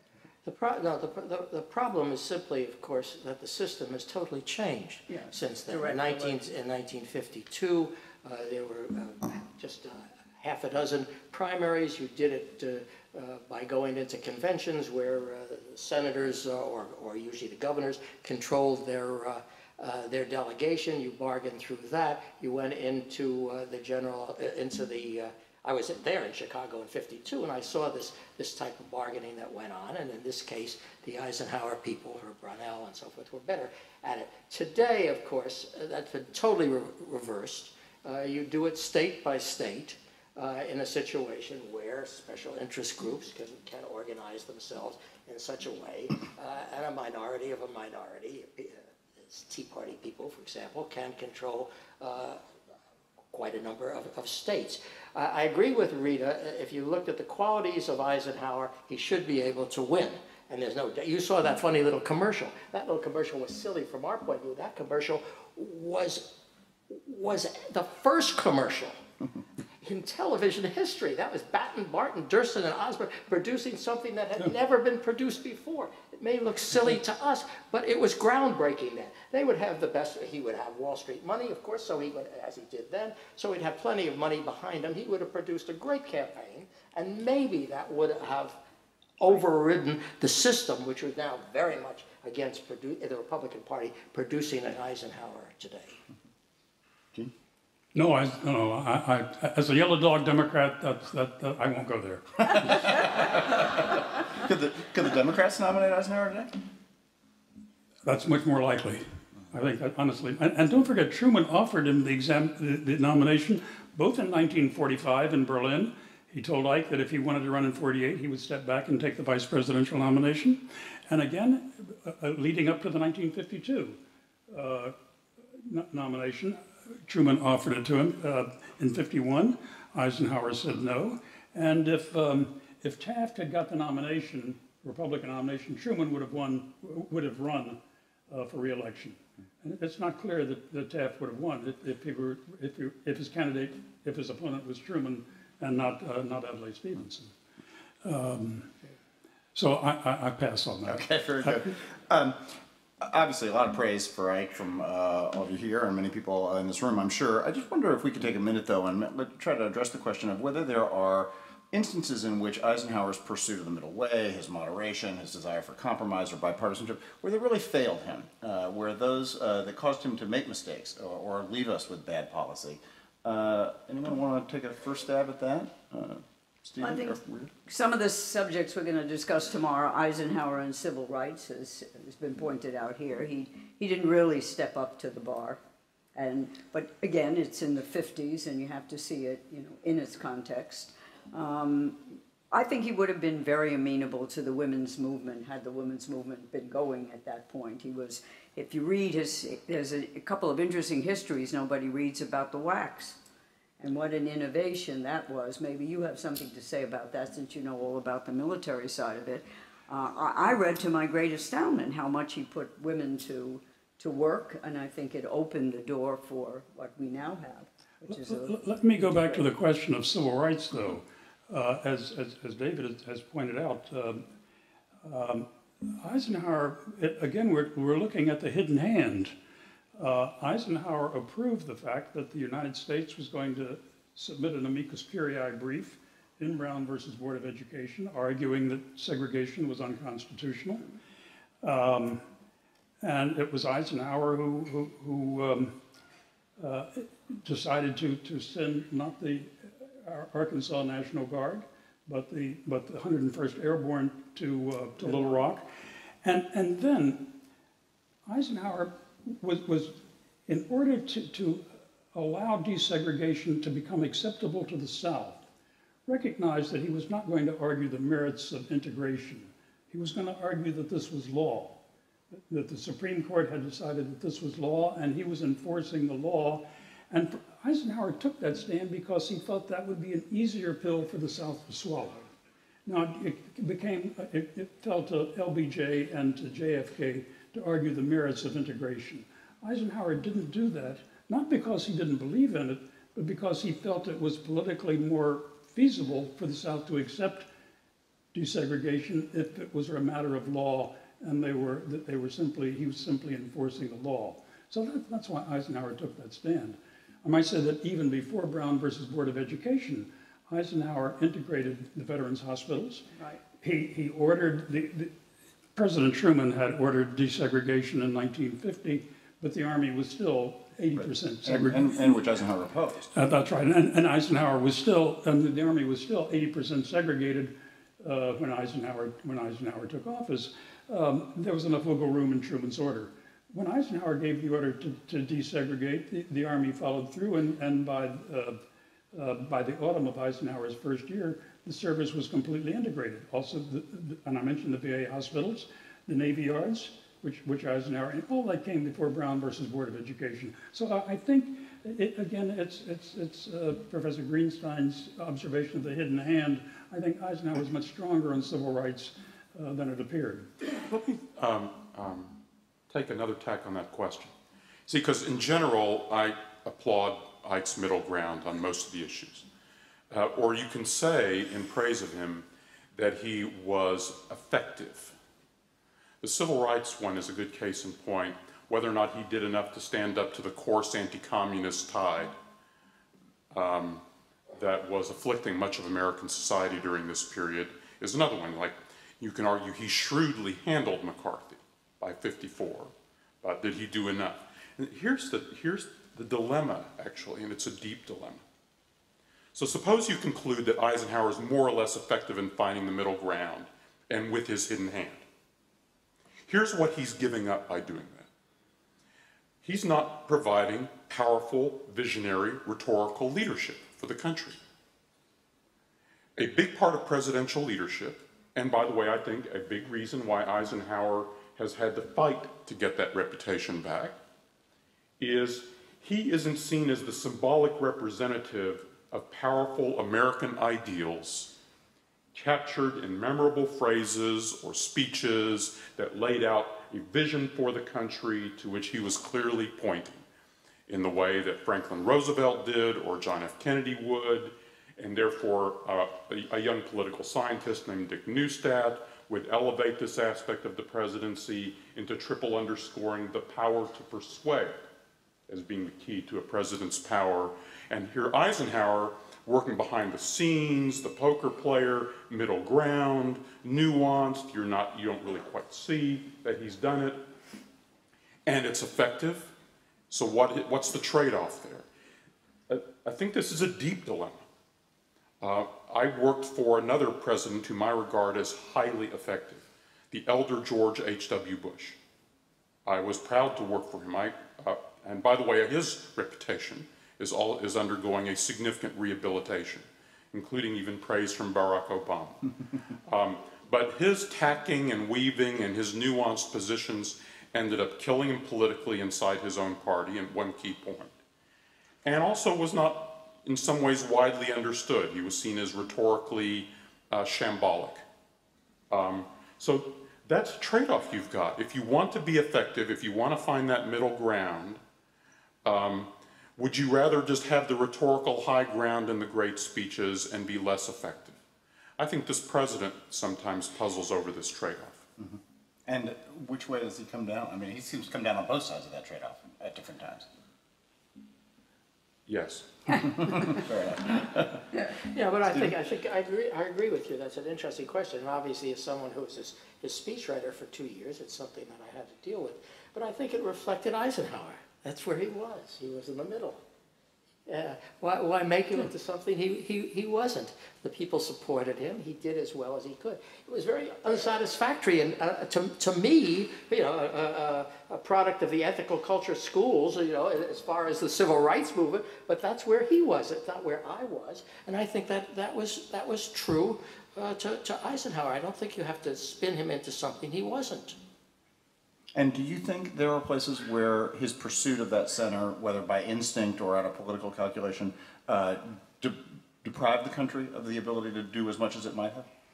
Well, that's a, a fascinating question for, for, of which we can't possibly know. We can't write it both ways. Mm-hmm. We, we can't set it up one way and then live it another way and see which way would have worked better. It was certainly it was certainly unpleasant for me being there to deal with civil rights as a legal issue exclusively rather than a moral issue. But was he right, as Dave Nichols points out, and as Gina said? Probably he was. I, I, I reviewed that book and I gave it a favorable review, even though at the time it, it, it bothered me. Yeah, he, pro- he at the point that Gina's made, he did everything that the Constitution allowed him to do. That is, the things that were in his power to do. The Army, District of Columbia, civil rights, government contracting, and so forth, but nothing beyond that. Uh, now, you know, where are you coming from? Are you a black man looking at this record? Are you, are you a, a, Republican looking at the record? Who's looking at that record and wishes to judge it?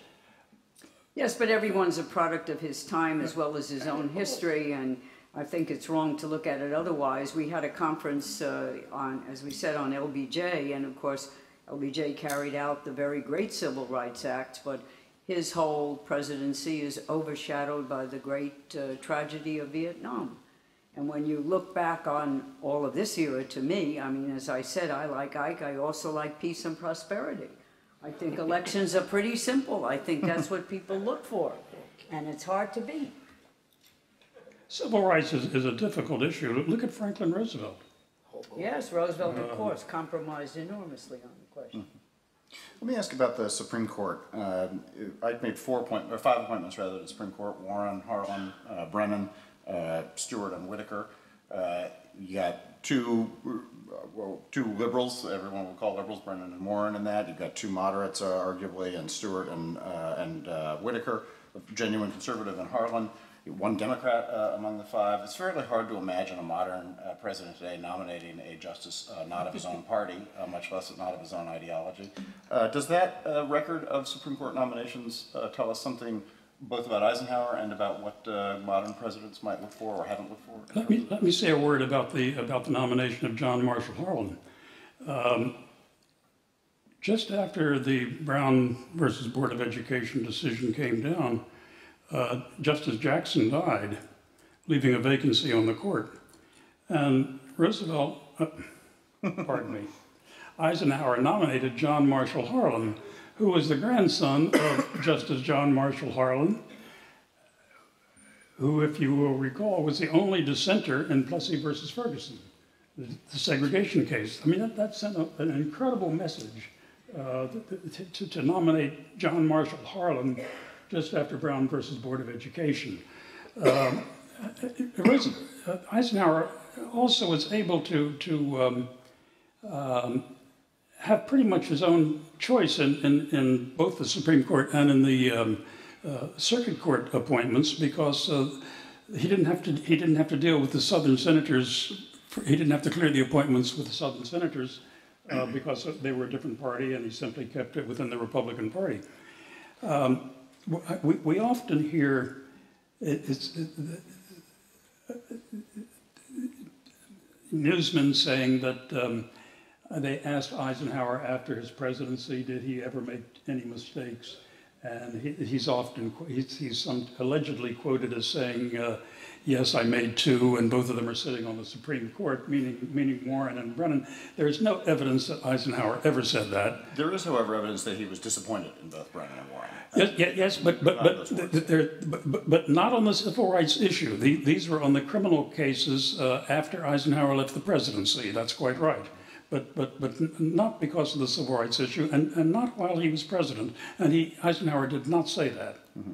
Yeah, and it wasn't certain he did. I just was curious whether the larger a look at the appointments collectively, uh, whether they tell us something either about his presidency or what, what presidents today ought to be looking for in justices. Phil, your thoughts? No? I- One thing we should add, though, and, and that is that he made some, some magnificent appointments to the Court of Appeals in the Yes. South. Yes. Uh, which were uh, Frank Johnson, what was the fellow in New Orleans, um, quick, somebody help me. Frank Johnson. No, Frank, I mentioned that, there's another one for, yeah. John John Minor. Wisdom, John Yeah. Wisdom. I mean, the- these were, these were more important, right, more important in many ways, uh, in, Yes. in regard to, uh, to integration than the appointments he made after the initial Brown decision. Very important. Um, we're running low on time, uh, but I did want to come back to foreign affairs uh, for a minute, since that really is the dominant, dominant theme, certainly of Evan's uh, remarks.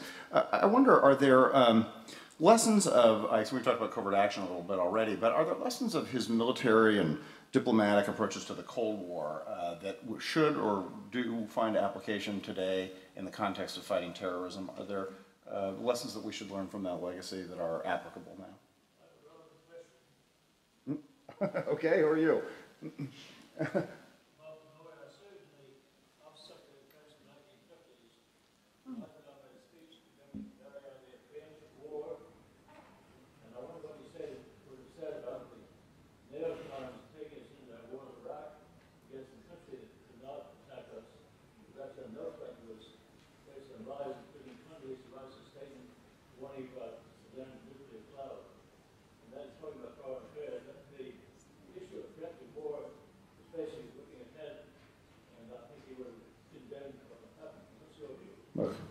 as, you consider my question, add, add to it the notion of preemptive war. I, I'm, I'm quite reluctant to wheel in historical figures and make them into my marionettes in order to have them mouth my preferred political convictions of the day. Um, I, I, um, it's, uh, it's ahistorical. Um, I mean, Eisenhower um, was uh, was willing to use some pretty harsh measures and countenance some pretty brutal measures to head off threats that, with uh, from our perspective today, um, seem more like molehills than like mountains. Uh, but as Evan Thomas, I thought, uh, seized on quite rightly, he felt he was navigating some pretty perilous rapids and he was trying to find an extraordinarily delicate balance at what I do believe possibly was one of the most dangerous periods in all of human history. Uh, because we did not blow up the world, it's possible to uh, forget. I mean, I, I read the papers today, and presidents moan about how no president has faced so many problems like the ones we face today. It's, man, our memory's short. I mean, I even remember when I was young and, you know, 100 American soldiers were dying a week in Vietnam, and society was ripped apart down to, to its core. And then, and I, of course, I grew up being trained as a Cold Warrior. I went to MIT and learned how to do um, how to do nuclear strike plans and calculate how much overpressure I needed to put on a concrete silo and how many warheads to assign to an aim point. Um, Eisenhower was president, followed by Kennedy, at the period in which nuclear war was genuinely and practically being considered on a constant basis as a genuine tool of policy. We were literally at that period in human history when we had created tools in modern life that had outrun the ability of the human brain to catch up with the power of the tools they could now wield. Um, and Eisenhower, uh, frankly, um, uh, um, had that judgment. And I think part of that judgment came from a sense that these were not abstractions to him. And Kennedy had this in common too. There's very much about Kennedy that was Lieutenant J.G., who always thought the brass had it screwed up and didn't understand what was really going on. Um, and but there was a side of Eisenhower who, and it's to his credit, never got some of the grandiosity that affected some others in his uh, class, and always had a concrete sense of how stuff gets screwed up, that operational level of war. And infused his sensibilities in ways that I think um, served the country well. Now, one wants to carry forward those sorts of sensibilities to today. There are a lot of ways to do that, a lot of ways to actually try to, you know, have people who don't view these problems as abstractions, who kind of think through the concrete realities of what these phrases on a page mean when they're translated to things that happen in the field and the broken bodies. Uh, that's valuable. But further than that, I'm reluctant to go. Eisenhower also had a very strong sense of values. We haven't spoken about it, but um, it, it's, it, it's very difficult to believe that an American chief executive would order three of America's strongest allies to withdraw from Suez, as Eisenhower did. And not only insist they do, but, but, but force them to do so, among other things, by mounting a run on the British pound, which left the British no alternative but to withdraw. That's right. Very good point. Yeah. Um, extraordinary, really. It, um, he, uh, he at, at, a time of extreme tension, he literally he tested the most core alliances because he thought larger issues at stake. Actually, in the anti-communist league that he was trying to develop around the world, um, they were partners with us in that anti-communist league, but it conflicted with another league they were trying to run, which is the renegotiation of imperial partnerships and the maintenance of imperial stature. And Eisenhower was going to force them to choose which of those two leagues they wanted to belong to. Well, it's interesting, though, in, in the Suez, which I totally agree, the brilliance of, of being able to, to do that and bring down the, the government of his closest friend, Anthony Eden. In fact, but what was going on at the same time? Hungary. And boy, the political, read the platform of the Republican Party on the captive nations and so forth and so on. But he didn't do anything there. He moved back from there. Now you can say if, if you were uh, if you were a Hungarian or, or other Middle Europeans, you would not feel very good about the decisions he made, but he understood the risks, that he, he, measured the risks there, and he measured the risks here, and in one case he went ahead, and in the other case he pulled back. And you're, you're exactly right, he measured the risk. I think, I think in the conference he said, look at a map. Yeah. Mm-hmm. and, and, Hungary was surrounded either by neutrals or by Soviet nations. Right. We're uh, down to one question, uh, and so I thought we might end uh, uh where Eisenhower ended, which was uh, in his farewell address. Uh, probably the most quoted passages of his life, the warning about the military-industrial complex, the scientific, technological elite, a little less often quoted. Um, would each of you take a moment and reflect on, on the relevance of, of those passages and how they have sort of our sense of them has evolved over time or what they mean for America today? Uh, I, uh, it's an astonishingly prescient address. Um, it's the kind of uh, address, um, even if the speechwriter wrote it, it could only have been informed by a deep sensibility of what America should be and an awareness, which, by the way, George Marshall, I think, also sensed, of what was happening to the country over the last 10 years. There's a nice line in that in which it's a um, it's a thoughtful line in which he says, remember that it's uh, power, it's unsought power. It's, he's not caricaturing them as a malevolent conspiracy. Says, just naturally, you're just creating institutions in American life that are just going to set certain kinds of forces in motion. And unless you are conscious about trying to balance against that, that's just going to be a very difficult set of things for us to handle. I think anyone who's worked a lot in Washington and simply sees the natural, organic creation of interest groups and forces in relation to fantastically elaborate programs um, that have evolved cannot help but think that his prediction came true almost in exactly the form he forecasted that it would, that it's had profound effects on the public institutions of the United States, which are still fundamentally the same national security institutions we created between 1940 and 1960. That's you know 80% of the DNA of the American national security state still dates from those 20 years. Um, now I think it's there are now gigantic bureaucracies that are being built up because instead of 70% of the federal government being spending its discretionary money on defense, that's now flipped in really quite profound ways that are altering the nature of the American state. And that too has a complex associated with it. But uh, Eisenhower's warning is profound. It's an extremely difficult thing to deal with precisely in a way because it's not malignant, malevolent. It becomes a natural, organic part of the American political scene in which people are innocently just trying to create reasons to keep things the way they are. Yes, but I do think that had we not had the wars that ensued, that Eisenhower kept us out of, that military industrial complex would have had a much more difficult time asserting itself. Every war spawns even greater defense spending, build up, and everything that goes with it. And alas, you learn it's very difficult to bring it down. So there are many lessons that you get from Eisenhower. Things avoided often are very good things that prevent other things from happening.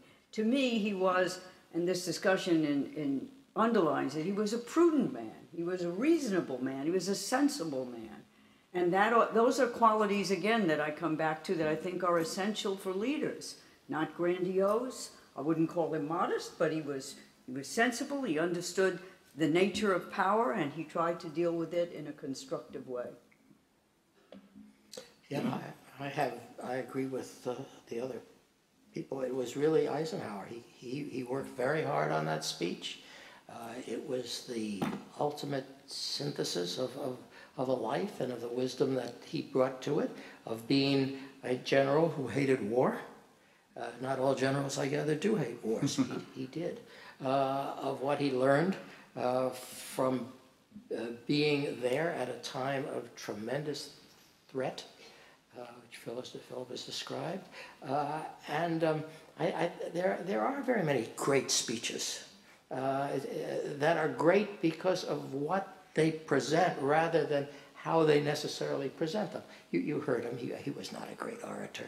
Uh, by that time, he had had illnesses and there was some, he, he stumbled over some words. I, I would try to give I would I would try to correct them to, but I never could because he had been a speechwriter and and he was prepared to mm-hmm. uh, uh, uh, get at anybody who split an infinitive. But that was pure that was pure solid Eisenhower. That's how he should should be remembered uh, after we remember all the human things he did all the failures and so forth. He put it together. He finally brought it together in that marvelous speech and we should also remember, we're consumed with, with deficits uh, today, that Eisenhower really is the only president who took on the defense budget and who reduced it significantly. Mm-hmm. With that, we are done. Uh, I want to thank you all. thank you all for being here, and thank you all especially.